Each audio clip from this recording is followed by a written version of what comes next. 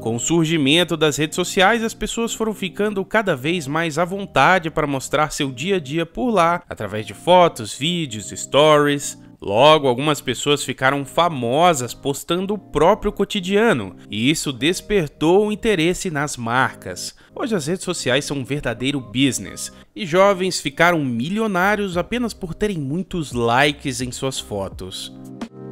Como tudo na vida tem um lado bom e o ruim. O bom é que várias pessoas encontraram mais uma forma de ganhar dinheiro e com a profissionalização do conteúdo eles cresceram em quantidade e em qualidade. Para o público é muito bom, porque sempre terá o que ver na internet. Por outro lado, criou uma indústria do like, onde as pessoas fazem basicamente tudo para ganhar a atenção do público. Até mesmo abrem mão dos próprios valores.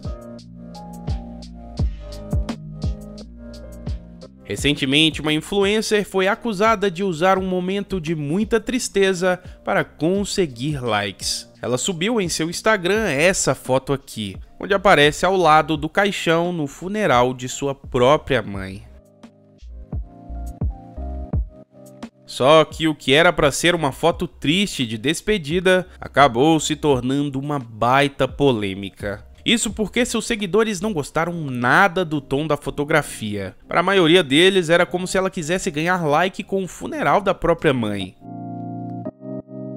Na imagem ela parece super maquiada e aparentemente fazendo uma pose triste para a foto. A postagem tinha na legenda uma declaração da jovem dizendo que ama sua mãe. Sua foto foi parar no Reddit, onde milhares de pessoas ficaram indignadas com o que viram. Alguns até a acusaram de usar a dor para obter atenção e aumentar seus seguidores, já que o funeral deveria ser um momento de despedida, e não para ficar preocupada com fotos para o Instagram, muito menos em sair em uma bela pose ao lado do corpo da própria mãe. Alguns até disseram que ela quis muito mostrar a tatuagem, já que sua pose para eles era um tanto quanto forjada.